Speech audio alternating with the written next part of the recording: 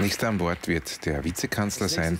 Regierungsmitglieder können sich in einer Debatte jederzeit zu Wort melden.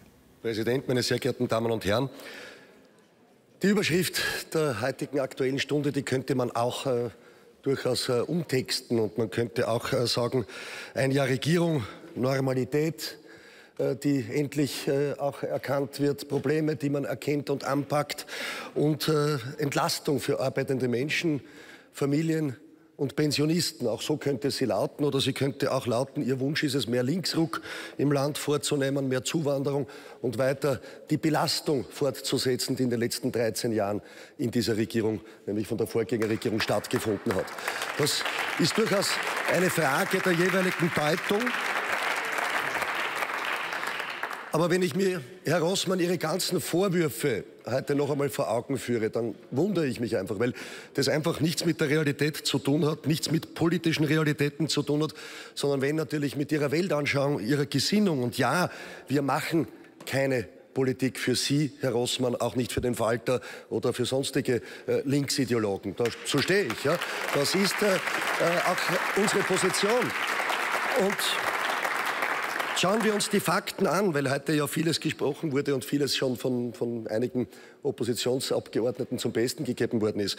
Äh, die Frau Meindl-Reising hat gesagt, ein Hydrant hätte auch dieses Budget zustande gebracht, keine neuen Schulden äh, mehr auf dem Rücken unserer Kinder aufzuladen. Naja, da wundere ich mich, denn die letzten Jahrzehnte unter sozialistischen Kanzlern hat es die SPÖ immer geschafft, äh, neue Schulden zu schaffen ja? und mehr Geld auszugeben, ja, als man einnimmt. Das ist sehr wohl ein Paradigmenwechsel, den wir sicherstellen, nämlich erstmals seit 1954 nicht mehr Geld auszugeben, als wir einnehmen. Denn das bedeutet soziale Verantwortung. Wir wollen nicht auf dem Rücken unserer Kinder weiter Schulden aufbauen. Und da geht es um Fairness und auch Gerechtigkeit.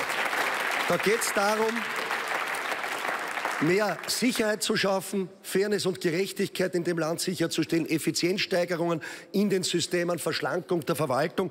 Und überall dort packen wir an. Und ja, da können wir eine erfreuliche Bilanz heute auch präsentieren nach einem Jahr. Wir haben nicht umsonst eine äußerst breite Zustimmung durch die Bevölkerung. Warum? Weil wir konsequent bei den arbeitenden Menschen ansetzen.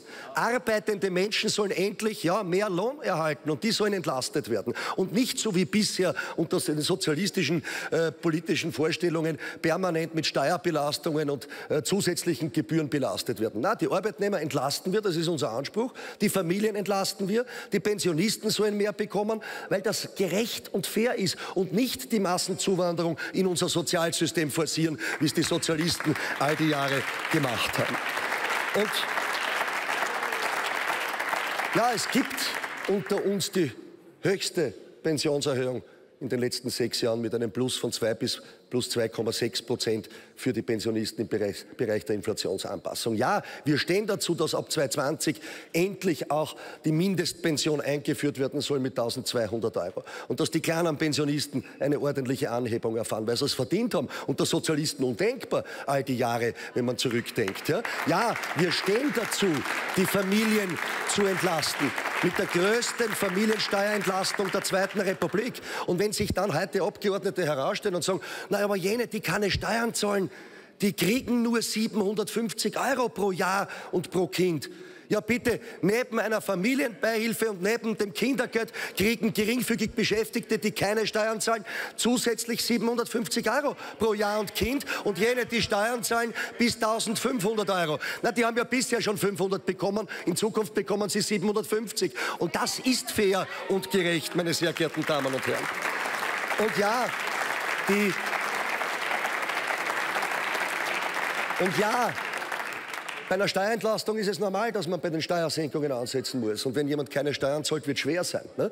Ja? Aber wir denken eben darüber hinaus mit. Und wir haben bei den Arbeitslosenversicherungsbeiträgen sehr wohl dafür Sorge getragen, dass in Zukunft bis 1600 Euro Monatsbruttoverdienst keine Arbeitslosenversicherungsbeiträge gezahlt werden und bis 1900 es eine Reduktion gibt. Das, bis, das sorgt dafür, dass die kleinen Einkommensschichten mehr bekommen. Ich weiß schon, Herr Rossmann, denen hätten Sie am liebsten das Geld aus der Tasche ziehen, um wieder Zuwanderung in die Mindestsicherung zu finanzieren. Genau dort setzen wir aber an.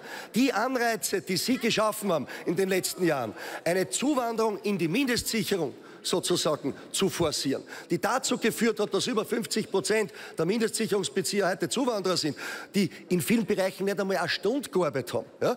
Das ist doch nicht fair.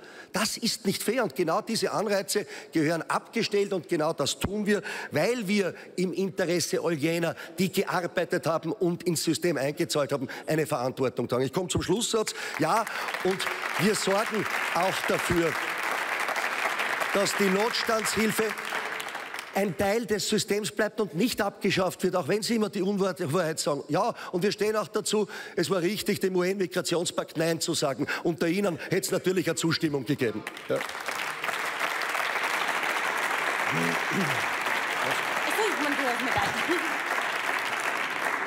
Ich begrüße ganz herzlich die Schülerinnen und Schüler der Landesberufsschule Hartberg bei uns im Hohen Haus. Herzlich willkommen.